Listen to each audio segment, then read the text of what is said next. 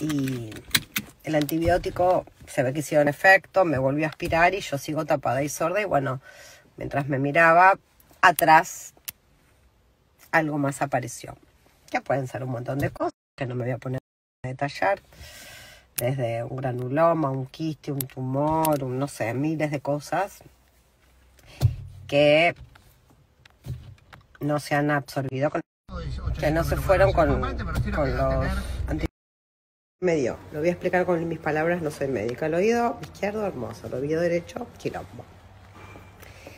No tengo un tumor. Parece que pudiera ser operable, pero no es urgente.